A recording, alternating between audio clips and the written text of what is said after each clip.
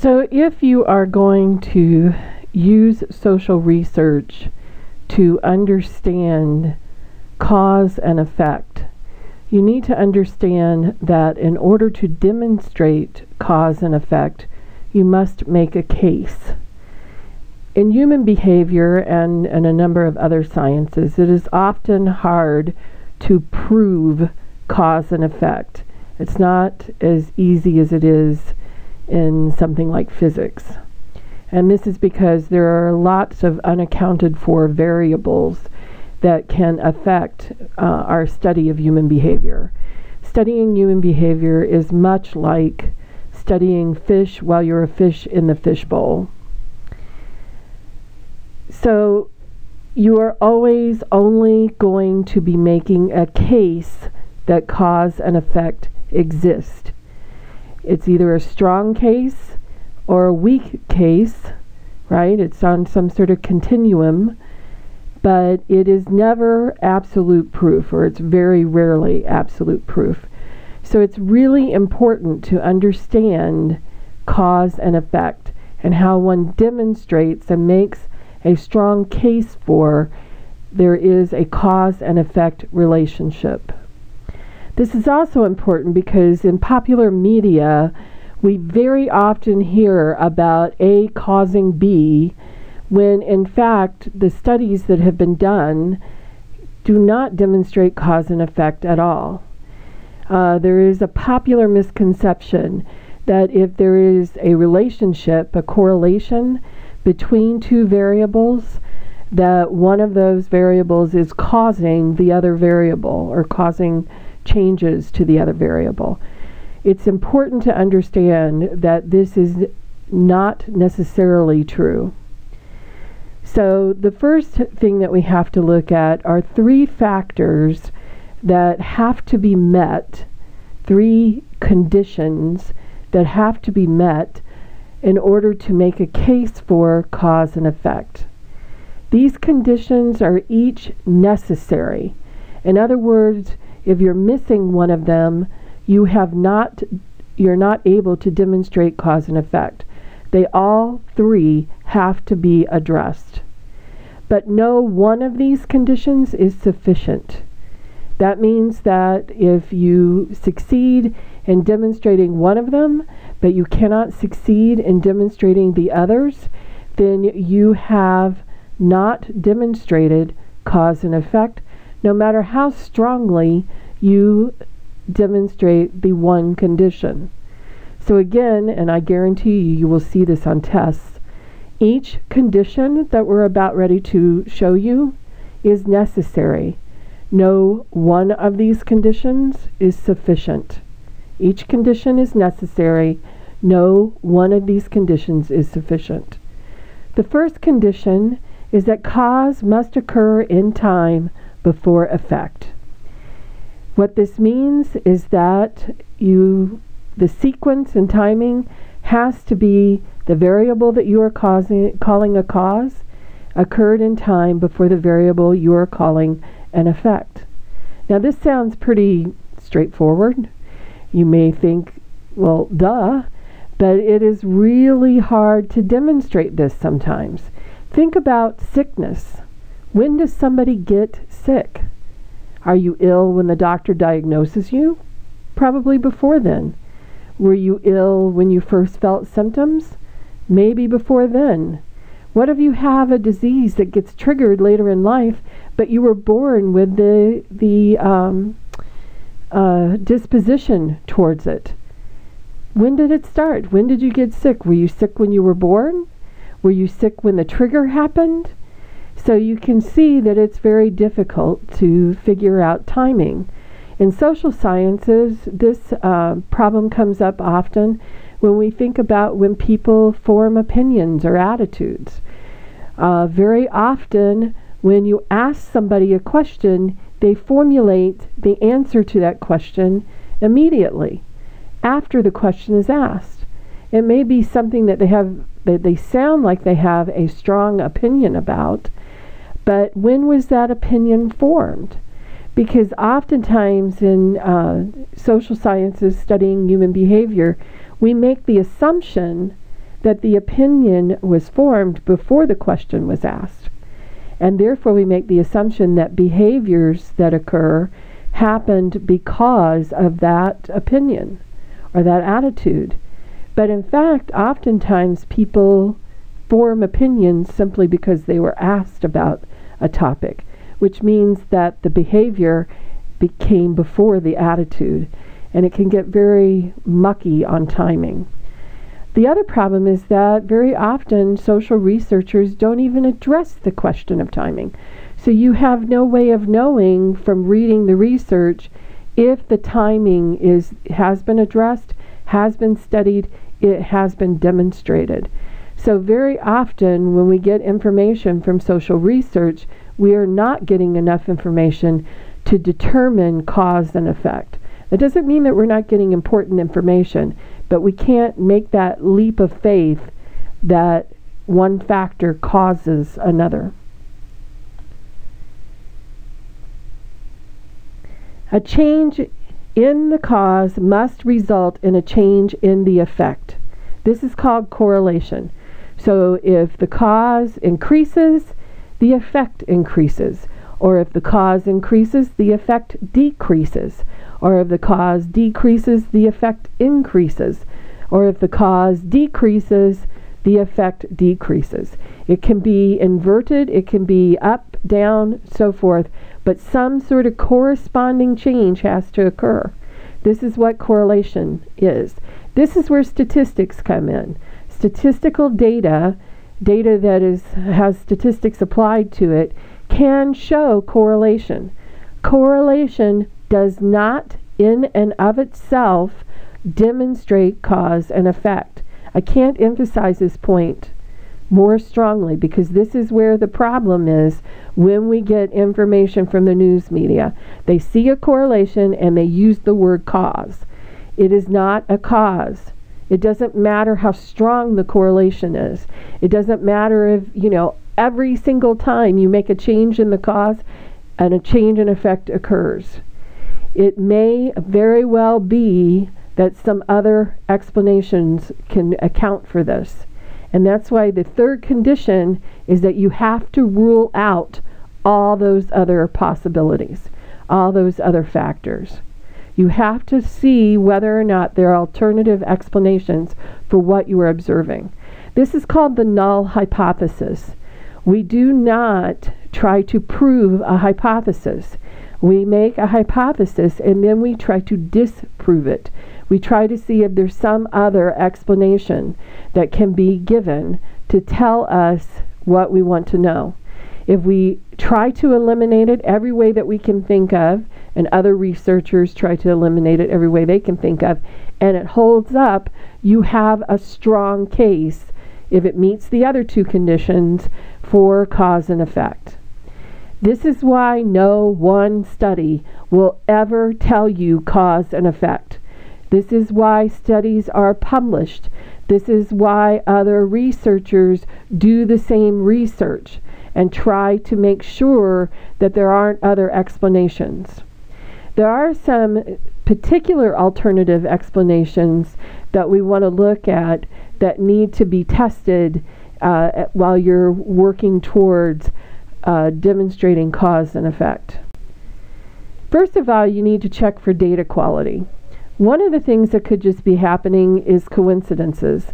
Now, you can't know whether or not uh, data is good unless it is um, tested to see whether or not it's it's at random.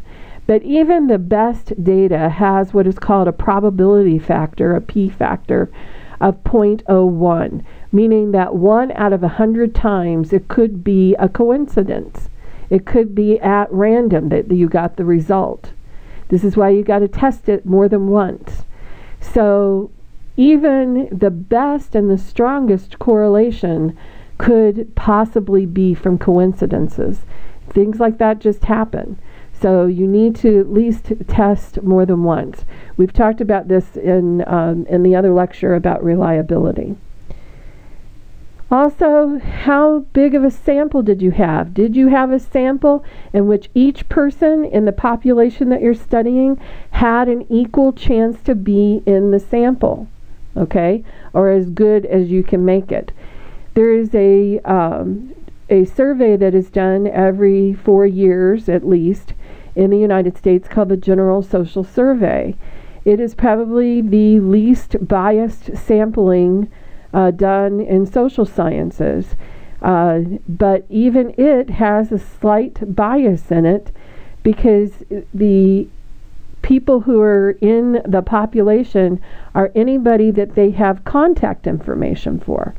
So it isn't, if you do not have published contact information that they can get a hold of to put you into the uh, mix so that the sample can be pulled out of that, then you do not have an equal chance to be in that. You won't be in the sample.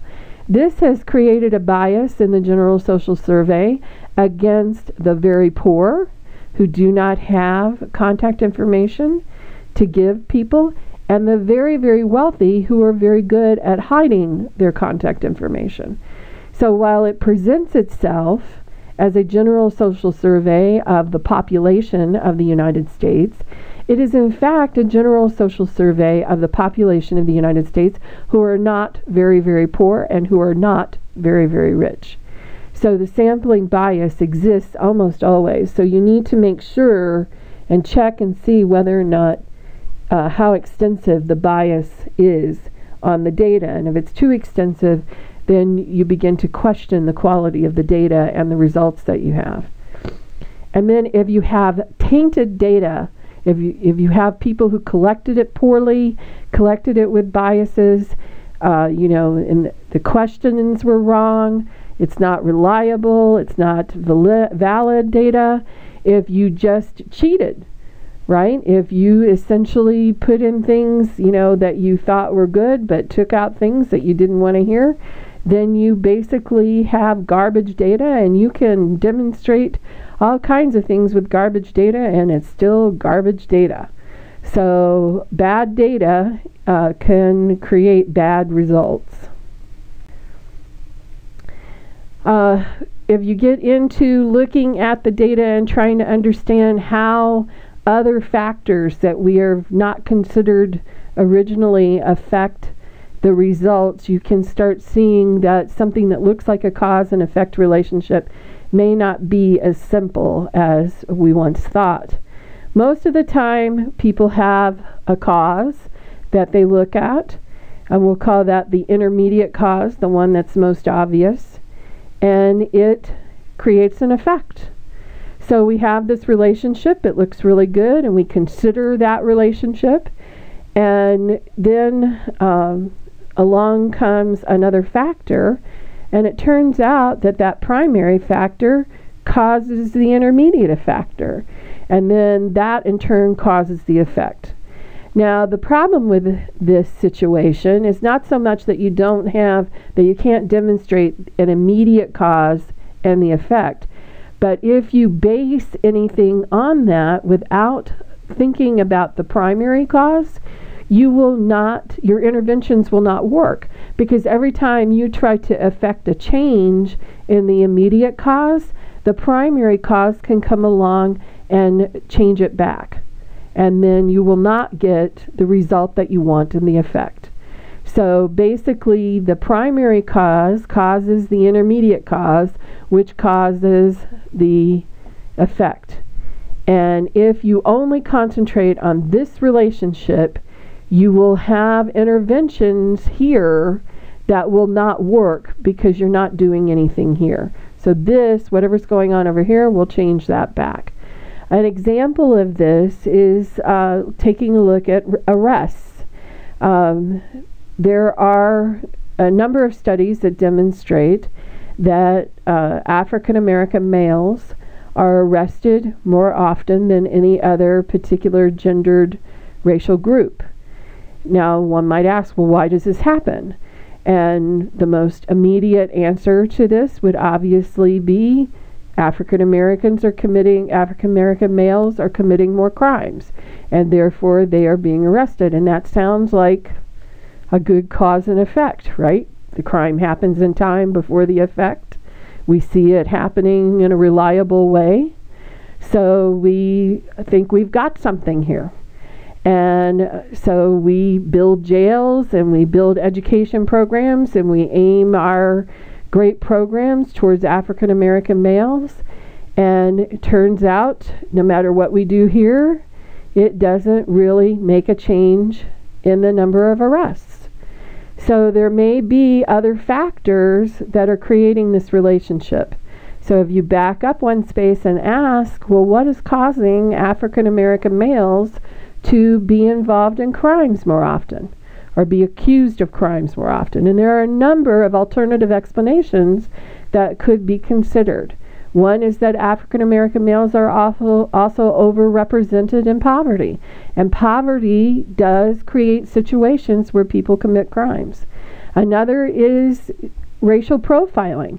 It may very well be that African American males are not committing more crimes than anybody else, but the police are watching them more completely and more with more scrutiny and so they get caught more often than anyone else or they get accused falsely more often than anyone else. Uh, and you know there you know are other explanations that could have to do with families, with um, with uh, race and fear and so forth. So there are a, a whole bunch of alternative explanations that need to be looked at. And if you don't look at these alternative explanations, you're never going to fix this. Because if these things are causing this, every time you change this, all of these things over here are going to change it back. So you can take a person and teach them not to commit crimes and put them in jail and punish them for it, and they go back to the impoverished neighborhood in which the police are watching them more closely than ever, and lo and behold, they get arrested again. And it, it, it becomes a situation that just doesn't uh, move forward because we're not considering the primary causes in our social programs.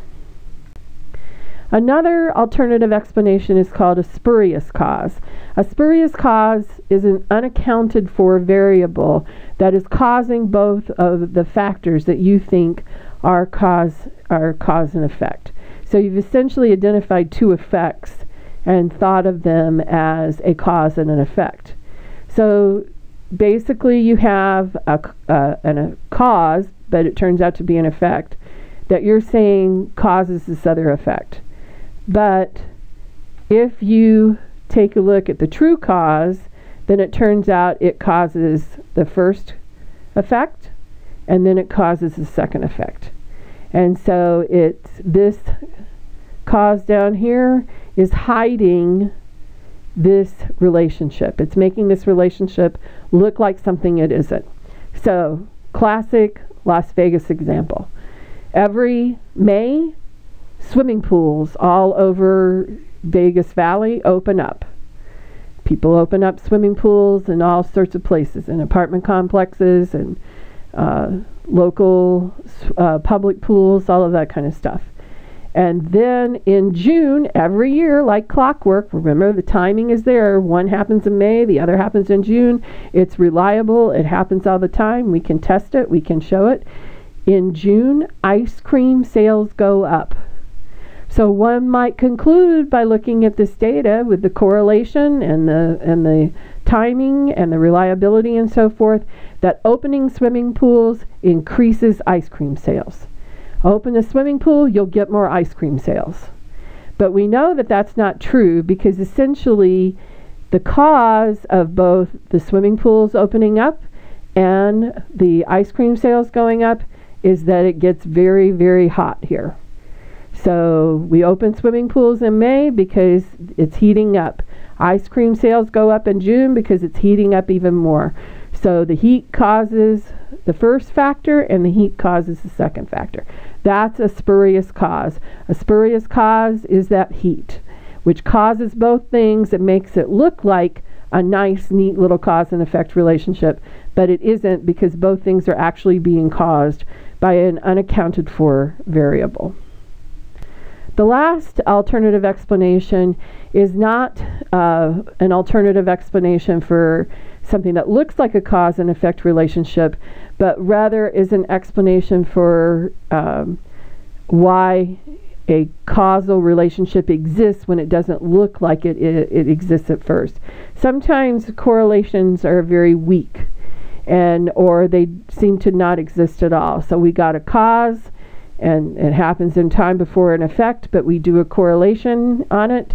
And when we do this correlation study, we find out eh, it doesn't look like it affects the effect very much, that the changes in the cause don't really create clear, reliable changes in the effect. Well, if you add a third factor, okay, a, another um, factor that you weren't considering the first time, suddenly a correlation will appear and a stronger case for cause and effect will appear. Okay, so I'm going to give you an example of this. In the 1970s in, uh, in the United States, there was a moratorium on the death penalty. The moratorium on the death penalty was based in part on the question of race and how many people were being sent to uh, the electric chair to, to punishment of, by death. Uh, there was a belief that uh, African American convicts were being sentenced to death more often than any other group. And then they did a study and they couldn't see the cause and effect. They looked at all of the people who had been sent to death row and they could not see a pattern uh, of um, African Americans being more likely to be uh, sent to death row. Um, so a very interesting study was done after that, and that study took a look at the race of the victim as well as the race of the convict. Okay? So, follow what we're doing. We're saying this is black on black crime, black on white crime, black white on white crime, white on black crime. Okay? So these murders happen when they were intra-racial and when they were interracial. And by looking at the race of the victim, a definite pattern emerged. And that pattern was if the victim was white and the perpetrator was black, that black person was most likely to be was the most likely situation to be sent to the death to death row. So a black convict killing a white victim was more likely to be sent to death row. The second most likely combination to be sent to death row was a white convict convicted of killing a white person. When the victim was black, it was it was much rarer for the convict, whether they were white or black, to be sent to death row. Now, the reason it didn't show up in the first relationship is because most crime, most murders are committed intra-racially, meaning that you will be killed by somebody of your own race, more likely than somebody of another race. So that had a tendency, without looking at the race of the victim, it had a tendency to hide the race as a factor in who went to death row. But by looking at the interaction effect, you were able to see that death row um, convic- convictions did have an unequal racial aspect to it, and that actually you could make a case that in our justice system, we value white victims more than we value black victims. So I hope that this helps you understand cause and effect. I want to make sure that you get that it is very, very difficult to demonstrate this. It is always making a case. It is never simply um, a matter of correlation. You must study things much more thoroughly, and you will never really be able to definitively say this absolutely causes that. in human relationships.